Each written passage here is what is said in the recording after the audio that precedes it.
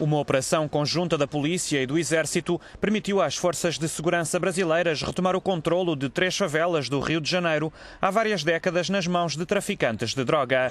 Sem um único tiro, a operação Choque de Paz permitiu libertar nomeadamente a favela da Rocinha, a maior do país com cerca de 100 mil residentes.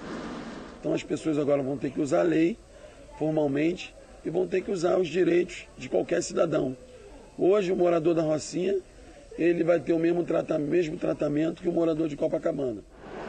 Para além da Rocinha, dominada há 30 anos por grupos de traficantes, as forças de segurança retomaram o controlo da favela do Vidigal e da Chácara do Céu.